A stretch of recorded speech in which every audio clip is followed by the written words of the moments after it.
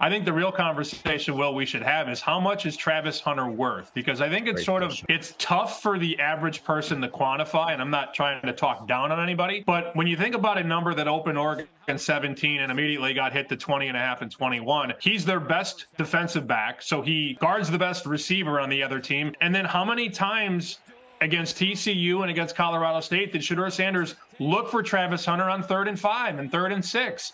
So, you know, if a quarterback is worth four or five, a good quarterback in college, the best two way player on a Pac 12 team is probably worth a touchdown, which would tell you that this number 21 is probably still a little bit light. You know, we've been talking about Colorado for, for a month now this is probably the game where they get exposed in the trenches. It hasn't happened yet, but Oregon has NFL guys on the O line and on the D line, and Colorado just hasn't seen that yet. This could be that game where realistically they're down 28 7 at half. Forget the final, they could be down 21 at half.